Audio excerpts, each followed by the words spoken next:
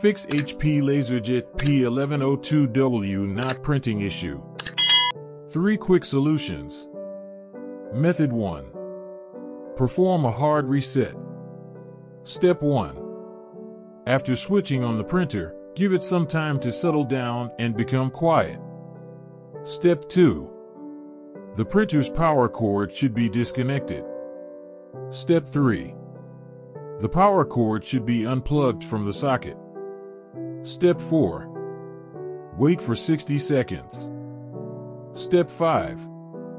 Replug the power cord into both the printer and the wall socket. Step 6.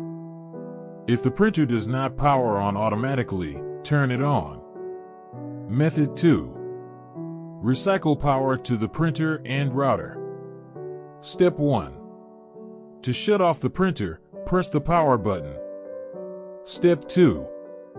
Wait for 10 seconds, then turn the printer back on. Step 3. If your router or access point has a power button, push it to turn it off. Step 4. After 10 seconds, wait to switch on the router or reattach it to the power source. Method 3. Uninstall the driver from root level. Step 1. When you perform a right click on the Windows icon, choose Settings. Step 2. Select Printers and Scanners after clicking Bluetooth and Devices. Step 3.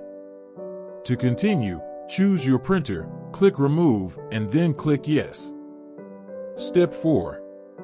Take the printer off of the wireless network and PC. Step 5. To access add or remove programs, click the taskbar search button, type in its name, then click. Step 6.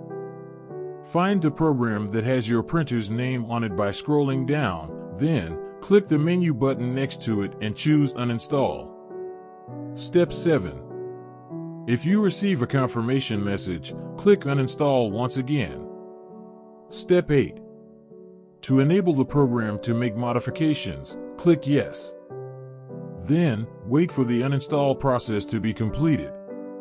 Step 9. Restart the computer when you're done. Step 10. Go to the official HP website, download, and install your printer's driver.